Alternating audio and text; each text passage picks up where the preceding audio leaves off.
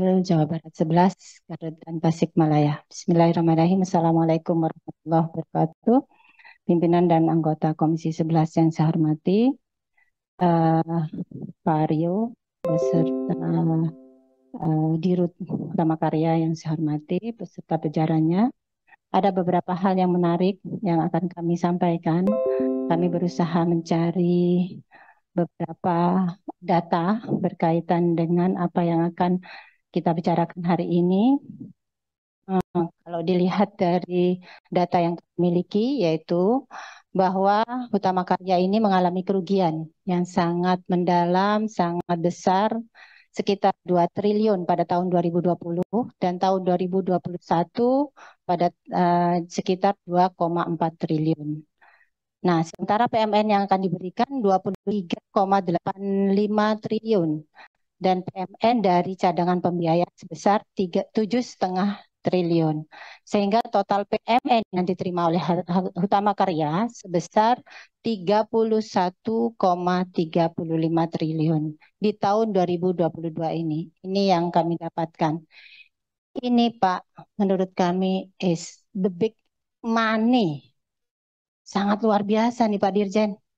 Spesial nih khusus Utama Karya sepertinya Nah, kami kira selain kajian yang perlu dilakukan adalah kajian yang ketat untuk penggunaan PMN-nya, yang lebih penting adalah monitoring dan pengawasan terhadap alokasi PMN eh, jangan sampai terdapat penyimpangan dan DJKN tentunya harus menjalankan pengawasan penggunaannya melalui BPKP dan LKPP. Nah, Direksi Utama Karya perlu memastikan PMN jumbo yang didapatkan ini yang sebesar 31,35 triliun ini digunakan secara efektif dan efisien serta sesuai dengan peruntukan pengajuannya sedemikian rupa sehingga juga terus uh, juga melakukan mitigasi risiko agar tidak terjadi kebocoran atau penyimpangan. Itu yang pertama.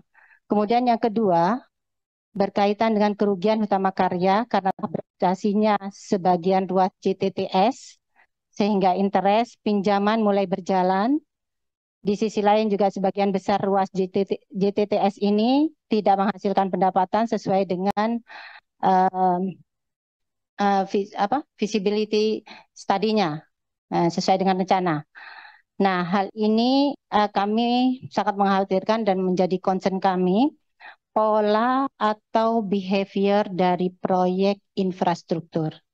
Kami ulangi bahwa kami concern pola atau behavior dari proyek infrastruktur yang selalu tidak sesuai dengan FS-nya yang direncanakan dan selalu cost of run. Hal ini terjadi di proyek kereta cepat dan LRT. Ini salah satu contoh saja.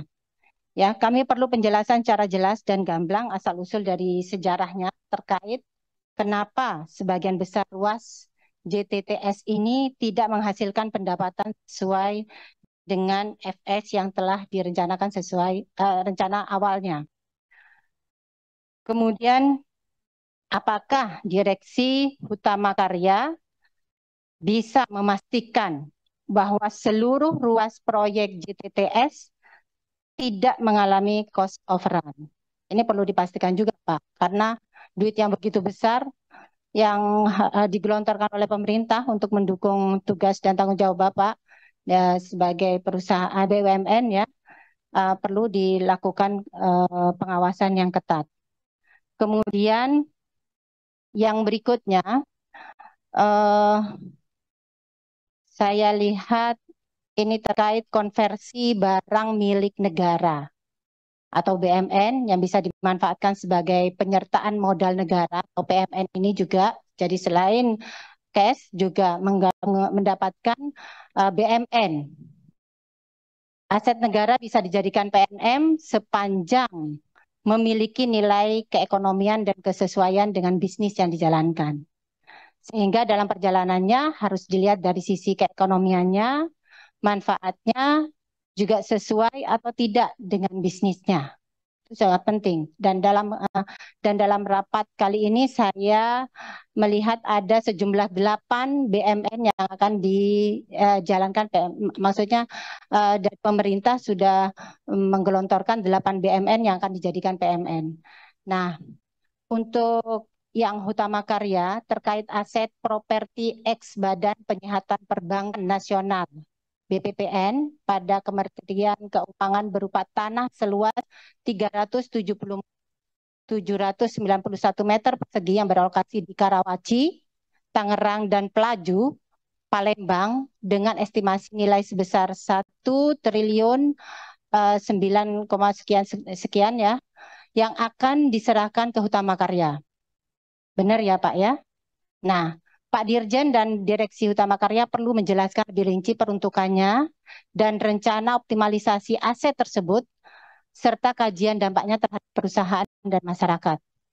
Saya juga baru mendengar uh, ada BUMN juga selain Utama Karya ya, yang PT Sejahtera Ekal Graha dan ternyata milik uh, Kemenq dan SMF yang sebelumnya belum pernah sama sekali disinggung di uh, Komisi 11. Jadi artinya saya berharap Eh, PMN yang diberikan itu baik cash maupun yang berupa BMN betul-betul dimanfaatkan secara maksimal untuk meningkatkan kinerjanya. Kemudian yang berikutnya uh, berkaitan dengan paparan kinerja keuangan, uh, keuang, sebentar maaf.